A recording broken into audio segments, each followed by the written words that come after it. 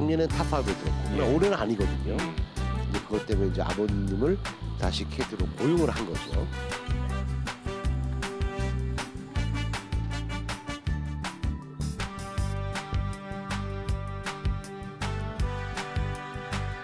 좀 본인이 원하는 대로 안 풀리고 있는 상황이었는데 이, 그렇죠.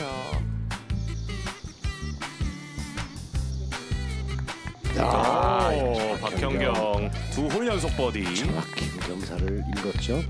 오 그대로 들어갔어요. 두 선수는 홀을 좌우로 스쳤는데요. 박현경 선수는 가운데로 정확하게 들어갔습니다. 박현경. 박현경 들어갑니다. 네, 다시 공동 선두. 넣습니다. 잘 막았습니다. 이야, 끝까지 포기 안 하네요. 확실히 아버지와의 합은 성공적이에요. 음, 네.